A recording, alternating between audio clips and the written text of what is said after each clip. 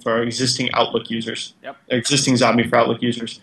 Uh, and then it was just really so we started off thinking, well, how about you know, what if we're just transferring these contacts back and forth? Yep. Um, but when we get into that development, we suddenly realized that we had enough of the data on the BlackBerry and actually enough processing speed to do a lot of Xobni-like features in and of itself on the phone. You know, so uh, watching all of your emails, gathering uh, email addresses from to in the CC line, building this rich address book, um, hitting all the social networks that we could. Uh, as we shipped, we're only hitting LinkedIn and Facebook, but we just kind of had to draw the line somewhere. Yeah. Um, but doing a lot of that sort of uh, that that work on the device itself um, started to become a, a, compelling experience, and also opened up our market where we could use. You know, if you were a Gmail user, uh, it still became an interesting experience. Yeah. Yeah. Um, so, uh, and this is a little bit of background into the, into the development process, but we started thinking of we sort of had two clients where we were like, well, we have this experience for the users that aren't on Xobni for Outlook, and what they're really looking for there is all of their contacts, right? Like have these giant PST files where they have just you know years and years of email and thousands and thousands of contacts, and they're like, I want those on my device. Um, so that sort of problem set was a little bit different in terms of how do we how do we manage and sync huge sets of data, gigs of data, exactly. Yep. Yeah, and that and that really is where Xobni One sort of grew out from. Okay. Um, and Xobni One is is is our pretty much our cloud sync product, if you will. Uh, we try to refrain from using the word sync, though. Just a lot of uh, the, the the architecture problems with sync. Yeah. You know, really like clobbering data and things like that. Like we we've totally avoided that, and we're just um, we try to keep all the data data weighted. Yep. So like we might not delete the data, but we'll just shove it to the bottom of our search results and things like that. So, which we, we actually think is the a better way to address it, um, and it sort of stems from something you said earlier, which kind of resonated with me, which was like I don't really want to have to folder my emails, right? I just want to search for stuff and have it all show up. Yeah.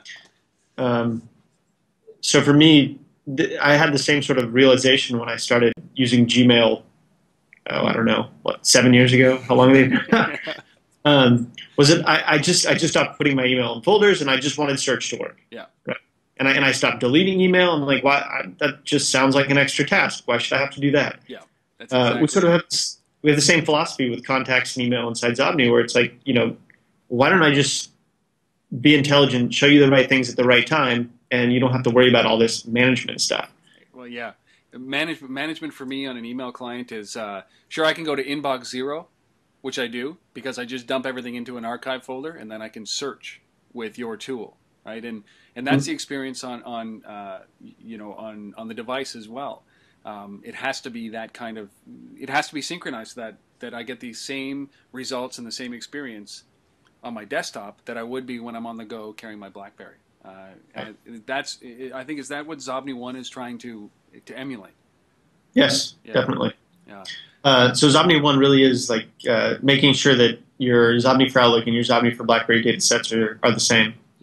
Um, that said, there are some caveats where it really does make sense to have a different experience on your phone than it does Yeah. on your computer, Well, and uh, that's with, with that, Michael, we've always thought that uh, you know there's there's certain things that you should not do on a device, right? There's certain things that don't suit a BlackBerry or an iPhone, and that should be left to the desktop experience, right, or the laptop experience, or full GUI, full rich experience on a big screen. And maybe there's uh, uh, you know maybe there's 75% or 60%. I don't know what the percentage is of things that that do translate well onto a mobile device, and the other ones just shouldn't be attempted because the experience will take away from the product on the mobile device and and maybe anger or uh, you know um, alienate some of the customer base. So you do what you should, and then Mhm. you leave the rest to be on the on, on something in a format that's much better uh, uh, or much more appropriate for for that feature, right? Like, Yeah. Um, but when you talk about the BlackBerry client um, and um, and Xobni One, you you guys. Um, you said that there was two customer base. There was the one that that already had Xobni for Outlook installed, and then there was the the other one which just are downloading Xobni for BlackBerry, right? Without the without the history. without the without the data. Is that the other side of it? Yeah. So the uh, the the other side of the, the sort of BlackBerry client, which uh, actually adds a lot of benefit to to the Xobni for Outlook user too, and I'll, I'll get into some of the details.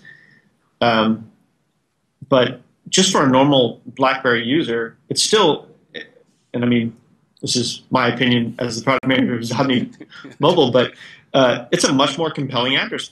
Yeah. It's one that I don't have to maintain. It's yeah. one that uh, is is constantly updated uh, and is far more. You know, the data is far richer than a normal address book. Yeah. So uh, the the drawback is the BlackBerry ship with the, the, you know the default setting is 30 days worth of email, yeah. right? So that that sort of limits the the size of the email that we can really sort of scrub through and find all these contacts in.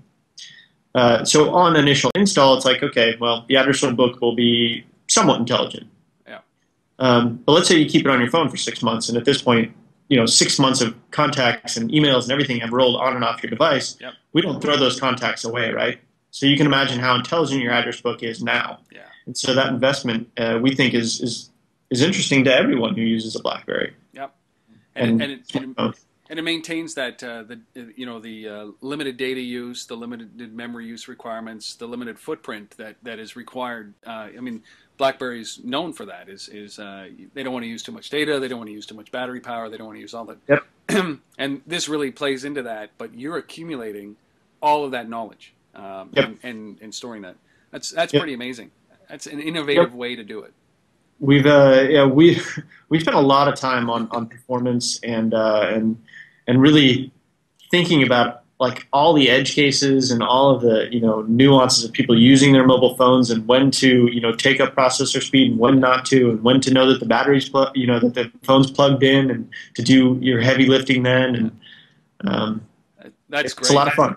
so, I mean, not only, and that's where I think that the, the marriage of product management and, and product design come in very, very effectively is that, uh, you know, you're not handing off the design to a, to somebody who's going to go and, and manage the development of this without any, without any background about the thinking behind the logic of, of the design of the product.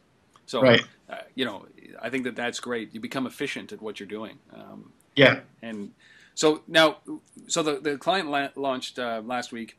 Now there is a cost right? Yep. And I just got to put this in is that I love that there's a cost for this, right? I, I mean, I run a number of software companies, and, and what's happened with kind of App Store and App World is this. Uh, I've said it many times: is the democratization of software, where people think $1.99 is too expensive for a piece of software that takes a year and five million dollars worth of investment to get to the point where it's released. So yeah. kudos to you guys for, for putting a price tag, and, and it's ten bucks, isn't it? Isn't that uh, the price? Yeah. The, yeah. Yeah. Um, Unless you buy with Xobni One and then six ninety nine. Yeah, and and uh, Xobni One is a uh, is a subscription service. Is that right? That's correct. Three ninety nine a month. Three dollars and ninety nine cents a month. It, yeah. Yep. I mean, it's, it's like microtransactions here. It's a latte a day or a latte a month that, that you go towards uh, towards yeah. this. What what was the feedback? Uh, two things. What was the logic behind charging for it?